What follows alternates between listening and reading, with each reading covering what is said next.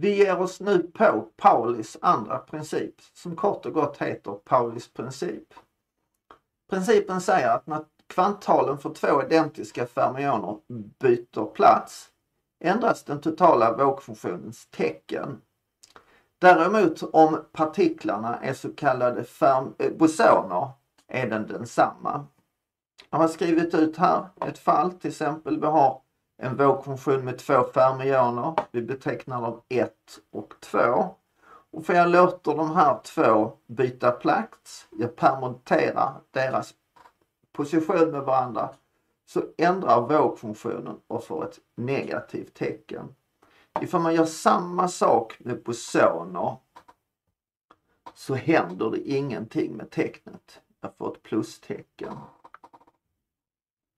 Det här ger ganska så intressanta konsekvenser. Vi tar till exempel tittar på hur vi kan kombinera två stycken elektroner enligt Pauli-principen. Och vi börjar med att titta genom att se hur vi kan kombinera spinnet för två stycken elektroner. Här har jag gjort en lista där jag låter, låter elektron 1 och 2 ha alla möjliga värden. Så vi kommer ha att antingen är båda elektronerna alfa-partiklar eller elektroner eller beta-elektroner. Och så har vi då i fallet att den ena är en alfa-elektron och den andra beta-elektron. Vice versa. Och så tittar jag här på vad som händer ifall jag låter indexen 1 och 2 och byta plats. Och då kan vi konstatera här att den första och det sista fallet så är eh, det som jag har före och efter jag har bytt plats på indexet detsamma eftersom ordningen alfa 2, alfa 1 är irrelevant. Det här är bara en vanlig produkt.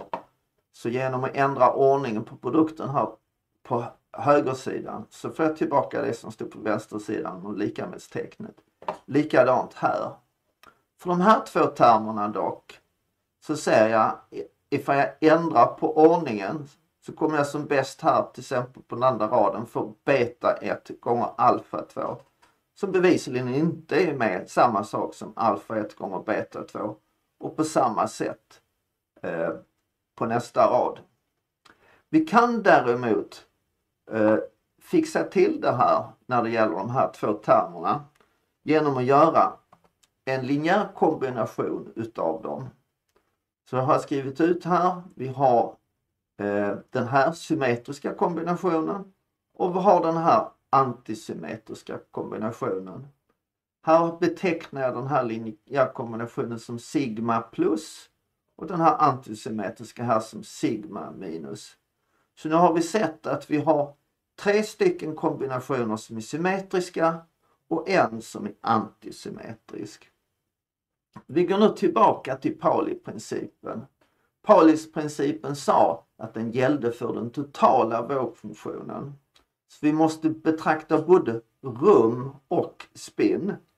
Så nu får vi göra samma sak för rumsdelen och sen ska vi kombinera ihop kombinationer så att vi får antisymmetriska totalvågfunktioner. Vi börjar med att titta på orbitalerna.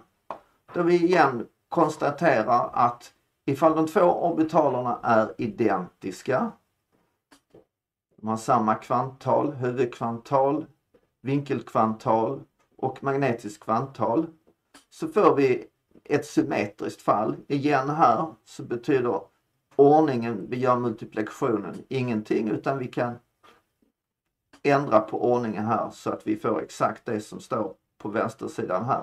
Däremot från det andra uttrycket här så ser vi att den är varken symmetrisk eller antisymmetrisk.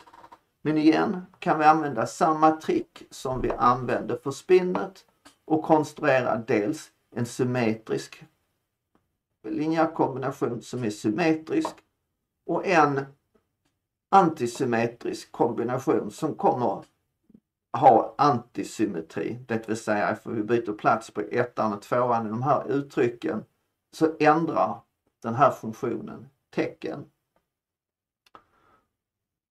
Det här tillåter oss nu att börja och kombinera ihop dels orbitalbitar och dels spinfunktioner till totala vågfunktioner där de två elektronerna uppfyller spinnen.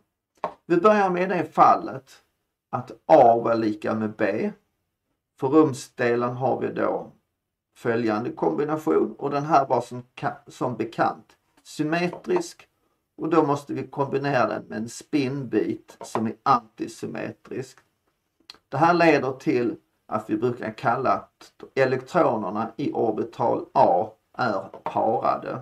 Där sitter en som i princip har spinn upp och en som i princip har spinn ner. Tittar vi dock på eh, den här funktionen sigma minus så ser vi att vi inte kan bestämma vilken utav dem som är upp och ner. Det kommer vi möjligtvis kunna göra ifall vi gör en mätning och då kommer den kollapsa till det ena eller det andra.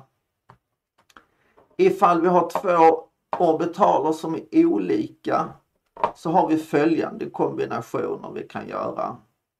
Vi kan antingen ha den symmetriska kombinationer av, av eh, ob, eh, rumsorbitalerna med den antisymmetriska utav eh, spinnet. Eller också så har vi tre fall där vi kombinerar den antisymmetriska kombinationen utav orbitalerna med symmetriska kombinationer utav spinnen. Ifall man tittar noga så kommer man se att i det första fallet så får vi ett singlettillstånd.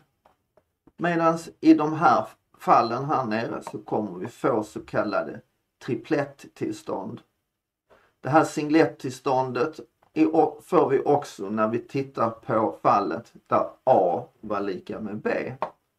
Och de här, ifall eh, vi har singlett eller triplettillstånd kommer vara en viktig egenskap när vi tittar på till exempel energier för system eller hur system växelverkar med varandra.